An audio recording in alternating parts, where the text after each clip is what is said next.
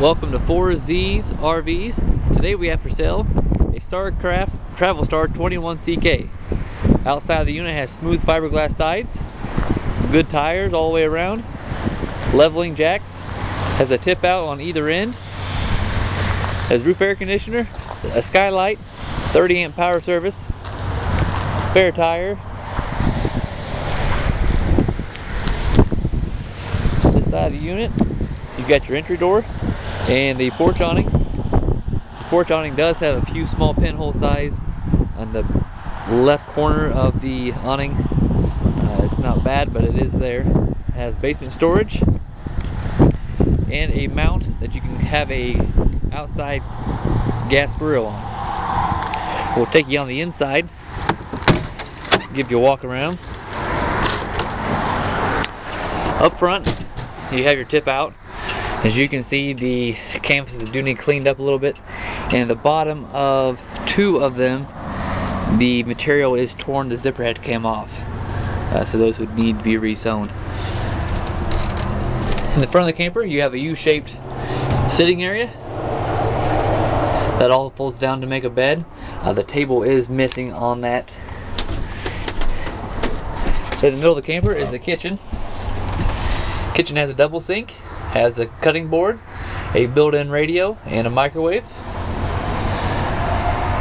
Has an additional countertop. Underneath the countertop there is your furnace. Across from the sink is your Dometic refrigerator. That is a refrigerator with the ice box. Right on top of that you have TV hookups, your water pump control.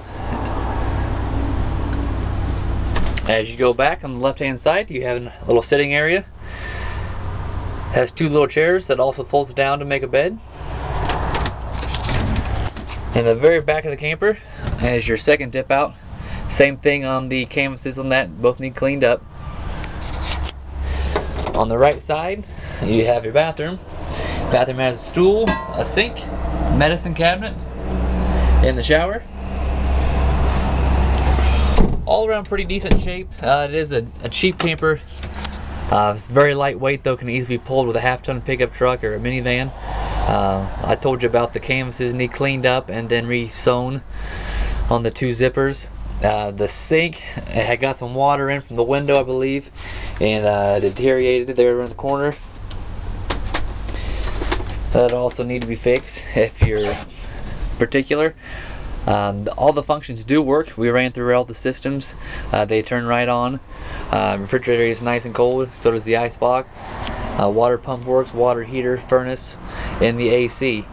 Um, all around pretty decent shape. Keep in mind though it is a 2000 and does need a little work to get it fixed up right. Uh, check out your pictures and thanks for checking us out.